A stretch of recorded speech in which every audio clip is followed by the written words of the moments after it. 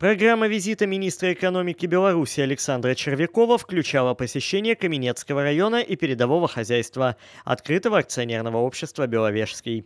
В ходе визита встреча с руководством и коллективом предприятия, обсуждение актуальных вопросов текущей повестки. Проблематика, которая сегодня сложилась, если она есть, она позволит э, быстрее ее реализовать через те решения, которые должны приниматься на уровне правительства. Поэтому сегодня самое главное – посмотреть, обсудить вместе с э, жителями э, района, что больше всего волнует, на что мы должны, как правительство уделить больше внимания. Среди вопросов, озвученных на встрече, экономическая и продовольственная безопасность, заработная плата в отрасли сельского хозяйства и в целом в реальном секторе экономики, строительство оздоровительных и физкультурных объектов, дорог, текущий ремонт инфраструктуры. У нас когда-то давно был запланирован постройка спорткомплекса. Говорили, что будет построен, но в итоге ничего не говорили, там план по нему был.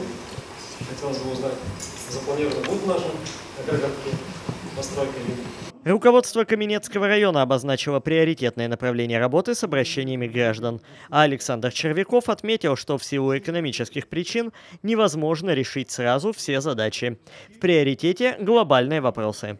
В ручном режиме нам удалось, в принципе, а, сохранить экономику, сохранить предприятие, и глава государства поставил перед нами, нами задачу санкции санкциями, но в первую очередь предприятия должны работать, а люди не должны себе почувствовать, что в магазинах нет продукции.